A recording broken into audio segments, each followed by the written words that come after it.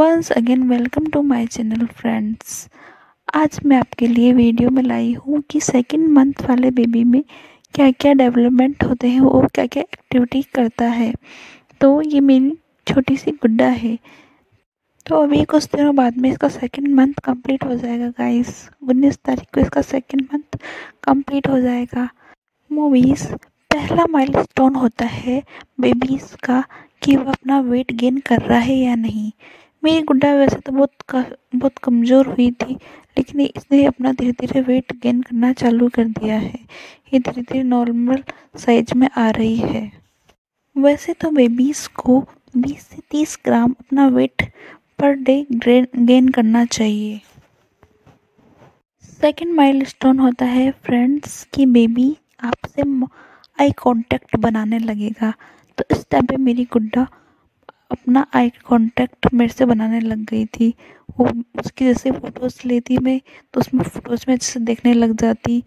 ये हर माँ के लिए बहुत ही प्यारा मोमेंट होता है कि उसका बेबी उसको देख के कभी मुस्कराएगा, कभी कुछ एक्टिविटी करेगा तो उसकी माँ उसको देख के बहुत ही खुश होती है। थर्ड माइलस्टोन होता है गाइस कि बेबी आपकी आवाज़ को पहचानने लगेगा। बेबी आप आवाज़ दोगे तो बेबी आपकी तरफ़ देखेगा। और गाइस एक बहुत ही प्यारा मोमेंट होता है उसकी माँ के लिए कि बेबी आपको रिस्पॉन्स देगा। बेबी रिस्पॉन्स मोमेंट बेबी आपको रिस्पॉन्स देगा। आप बेबी का आवाज़ देंगे तो बेबी आपको रिस्पॉन्स देगा और आपको देखकर कभी मुस्कराएगा, कभी या फिर मुस्कराएगी। ये एक माँ के लिए बहुत ही अच्छा मोमेंट होता है कि उसका बेबी उसको देखकर मुस्कुराता है या फिर आपको नहीं देख के कहीं इधर उधर देखेगा और आपको ढूंढेगा। तो ये उसके लिए बहुत ही अच्छा मोमेंट होता है।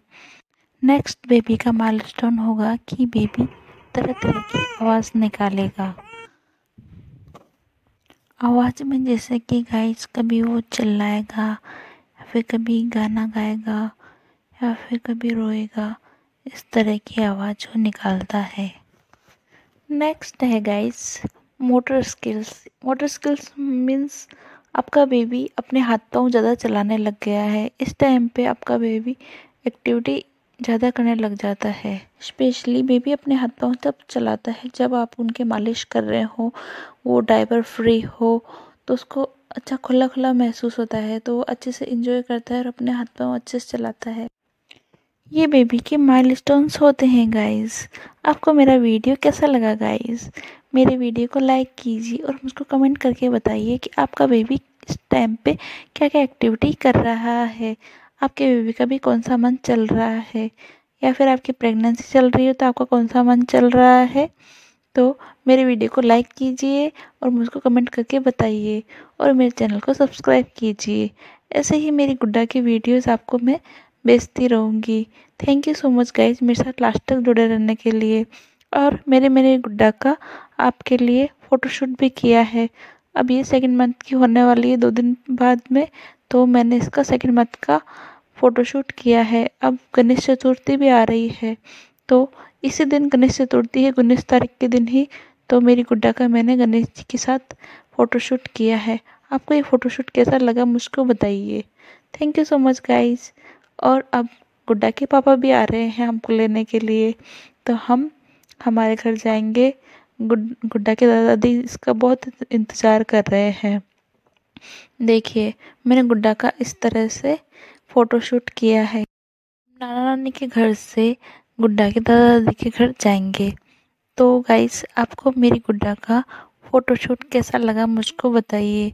गणेश चतुर्थी भी आ रही है। मंगल कार्य करने से पहले गणेश जी की पूजा ज़रूर होती है। गणेश चतुर्थी भद्रपद माह के शुक्ल पक्ष की चतुर्दशी को गणेश जी की हर घर में स्थापना की जाती है। इस बार उन्नीस सितंबर को गणेश चतुर्थी है। इस दिन ही मेरी गुड्डा दो महीने की हो जाएगी। आप सोच रहे होंगे भद्रपद माह के शुक्ल पक्ष की चतुर्दशी को गणेश चतुर्थी क्यों मनाई जाती है? इस दिन गणेश जी का जन्म हुआ था, इसलिए उनके जन्म उत्सव के दिन उनकी गणेश चतुर्थी मनाई जाती है। ये उत्सव हम दस दिन तक मनाते हैं। हर घर में गणेश जी के विराजमान होते हैं।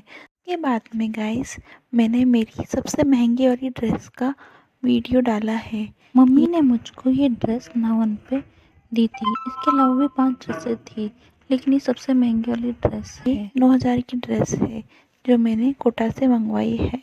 आपको भी ये ड्रेस अच्छी लगी तो मुझको बताइए। और मेरे वीडियो को लाइक कीजिए, कमेंट कीजिए और मेरे चैनल को सब्सक्राइब कीजिए। Thank you so much guys मेरे साथ लास्ट तक जुड़े रहने के लिए। आप सब्सक्राइब ज़रूर कीजिए। आप सब्सक्राइब करना भूल जाते हैं। इसलिए गाइज़ आप मेरे चैनल को सब्सक्राइब कीजिए। Thank you